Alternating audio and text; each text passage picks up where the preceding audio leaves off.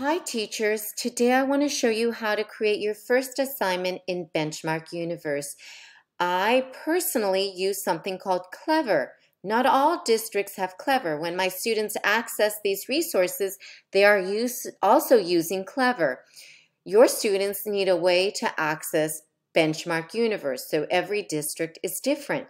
So I'm in Benchmark Universe for my district, and I am going to go to Assignments.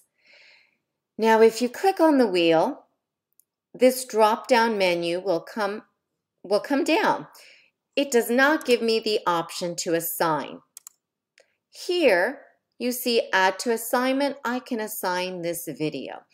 Well, my students are on Unit 6, Week 3. I skipped Unit 6, so we need to go back to make sure that the students have the phonics skills that they need. So here I, I've clicked assignments. I'm going to give my assignment a name. It's Unit 6, Week 3. I'm going to drag and drop the items or resources that I need. This is the Teacher Big Book. They can access those same stories in my shared readings. I'm going to drag and drop this in here. And if you look, I am able to assign this. Now, this ebook is the entire shared reading that my students took home. And if you look, they can turn the page from the corner. They can use the table of contents to turn the page. Find words. Right here in the corner. Now, sometimes, I don't know if it's, if there's, it's sometimes very glitchy, but it will have an arrow in the middle at the bottom where all the pages come up and they can just select. So let's go back here and keep assigning. I'm also going to assign the, the why mosquitoes buzz in people's ears. And I'm not sure if they're going to need that this next week, but they can have access if they want to read any of the previous stories. Now, next week is going to be long A, so I'm going to assign the decodable. Now, in the classroom, these consumables are black and white. Now, I also want to assign, I can assign leveled readers. I can assign um, down here,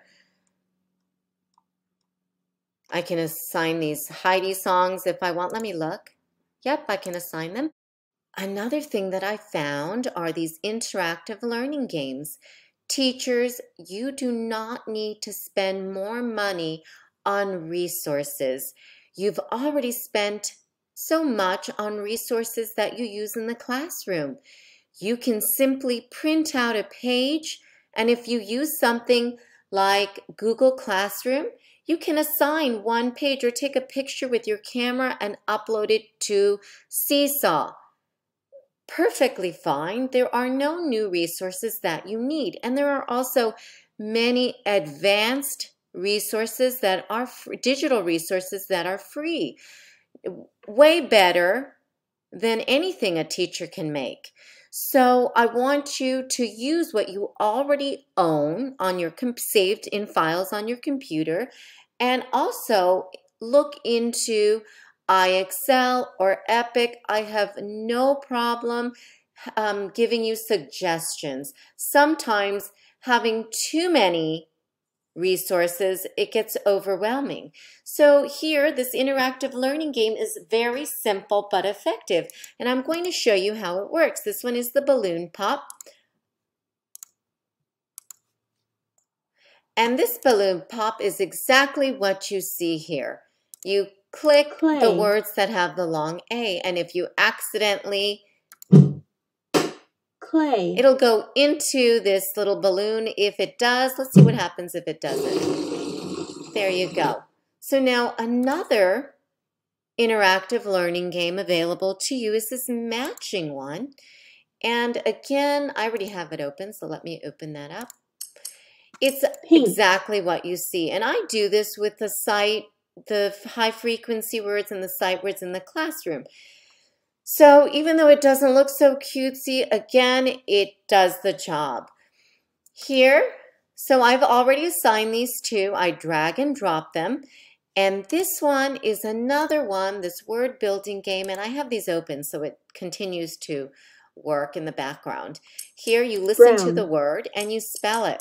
So you're oh. just o, dragging W N letters.